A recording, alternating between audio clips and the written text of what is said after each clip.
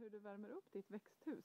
Eh, Växthuset här värms upp av biogas som produceras eh, av gödsel och eh, livsmedelsrester ifrån en godisfabrik. Och eh, den här biogasen förbränner vi sedan i en motor som driver en generator.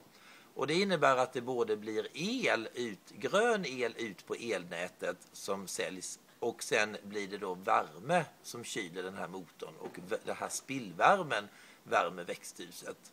Så växthuset är på 1500 kvadratmeter med största delen tomater.